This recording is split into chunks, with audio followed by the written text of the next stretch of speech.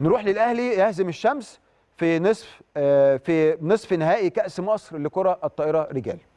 خليني أقول لكم لا ده في ربع النهائي. كسبنا الشمس في ربع النهائي. الطايره طبعا آه، آه، أنتوا عارفين طبعا الطايره ما شاء الله خلاص تقريبا حسموا بطولة الدوري بشكل كبير. كأس مصر لعبنا الشمس في دور الثمانيه كسبنا هنقابل الزمالك في نهائي مبكر في قبل النهائي.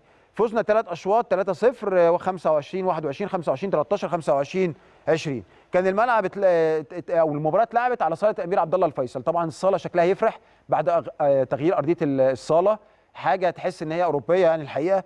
آه، وأكيد تغيير أرضية الملعب ده هيفرق كتير جدا مع إصابات اللاعبين. آه، ال- ال- الأرضية ما كانتش كده والحاجة يعني بصراحة مباراة وشكل جميل جدا جدا جدا.